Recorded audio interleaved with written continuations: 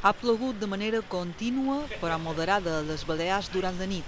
Les tempestes més fortes han esquivat l'arxipèlag i han descarregat damunt la mar.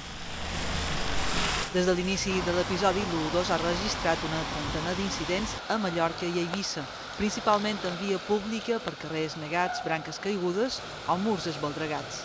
No hi ha, però, danys personals.